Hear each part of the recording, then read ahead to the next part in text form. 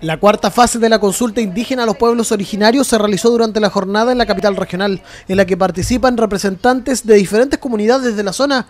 La actividad fue encabezada por la Ceremi de Educación, quien precisó que en marco de esta cuarta etapa se están terminando de analizar los detalles de lo que será la nueva malla curricular escolar, la que incluirá la nueva asignatura de lengua ancestral. Con este trabajo vamos a estar todo el día en este diálogo que esperamos llegue a buen puerto. Estamos trabajando en, eh, como digo, en la consulta de las bases curriculares para la asignatura de lengua y cultura indígena de primero a sexto básico. Con esto mejorando, por supuesto, ¿qué busca esto? Mejorar e implementar de mejor manera esta asignatura en consecuencia con el diálogo con las distintas comunidades. En la actividad estuvo presente el coordinador nacional de la consulta indígena, quien destacó la alta participación de comunidades a lo largo del país, partiendo por la zona norte y finalizando en el extremo sur del país.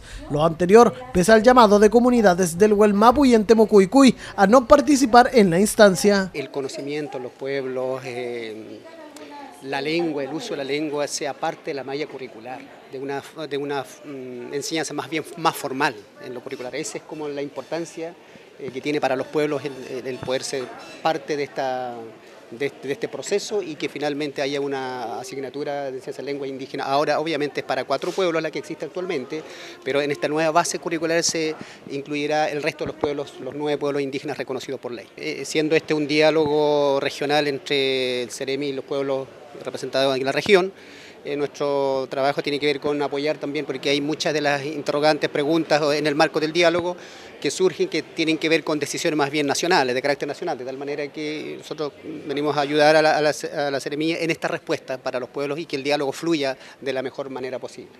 Una vez terminadas las bases curriculares, estas serán nuevamente vistas por el Mineduc, forma tal de que los próximos años los escolares tengan esta asignatura de forma obligatoria en una primera etapa desde primero hasta sexto año básico.